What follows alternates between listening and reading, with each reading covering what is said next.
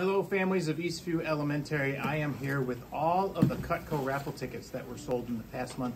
Thank you for selling. We made over $1,200 for our PTO to send our students on field trips at the end of the year. I'm going to give this a good shuffle and a mix, and I'm going to draw our winner.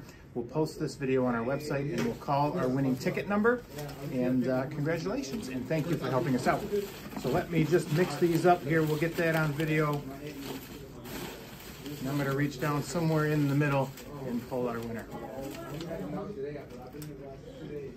So this is going to Charlotte Kinney, sold by Talia McFall. Uh, congratulations, and we'll be calling you soon.